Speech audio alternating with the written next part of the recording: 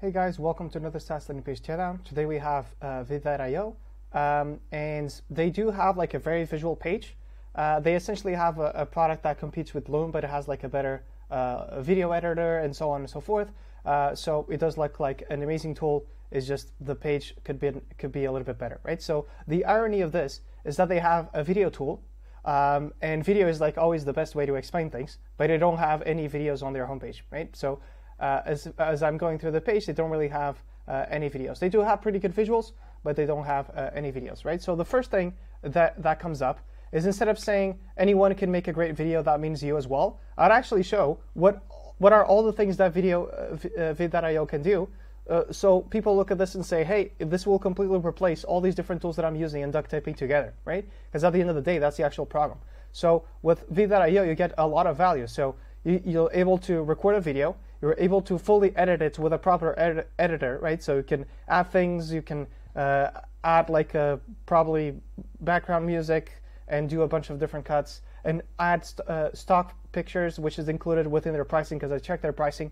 And none of this is actually addressed here, but it is actually in um, included in the the products, and all this could have been shown in the hero. So what that what that could, they could have a headline al along the lines of uh, being able to record, edit, and um, export the video or share it like all within one tool. Then you would show that in in a little video that loops, right? So someone recording the video, then uh, being able to edit it, it, out in in a really simple uh, editor, then adding stock pictures, then sharing it online, then uh, maybe turning it into a TikTok video because it changes the aspect ratio or something and automatically exports it, or even adding captions. So these are all things that they can do that they could have shown even just in the hero, and they don't show it uh, throughout the entire page. They're just missing out on a lot of these things, right? So people would clearly say, hey, this is the only tool I'll ever need, and I'll just use Veed.io because they have a lot of competitors here, right? So they say that it's fully featured and it's not complicated. But then as I scroll through this,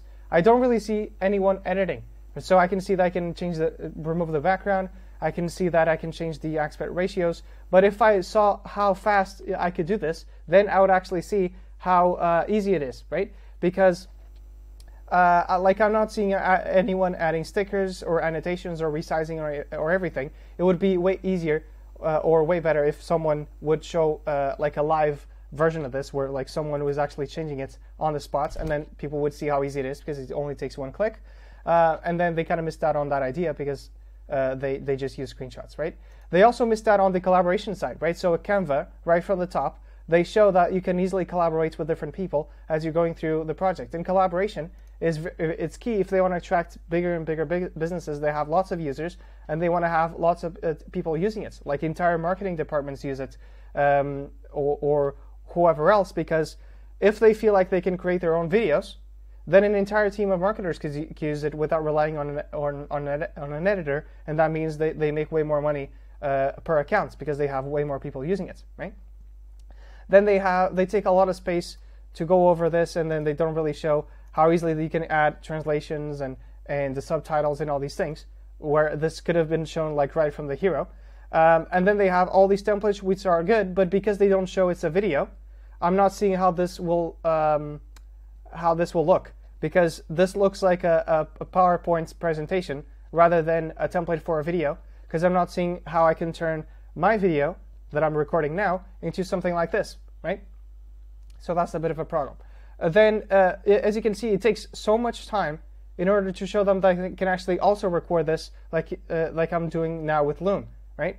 Uh, another thing that they're not doing is why not just show a video of someone recording, uh, recording maybe sharing the screen, uh, uh, showing a few slides, adding a few themes to it, uh, adding some post-it notes, all these little things, adding some annotations. They could have shown this with a 10-second GIF, and they're not really showing this at all, right? So overall, like visually, it's a very good page, like in terms of the visuals, but they, they could have used video. They could have been way clearer, and I think if they're putting themselves in this position of a very competitive market where they're competing with Loom, they're competing with Loom uh, uh video editors, they're competing with caption uh, uh, type softwares, all these little things, um, they could have completely killed it uh, with their positioning by showing they have everything in one tool and it's easy to use.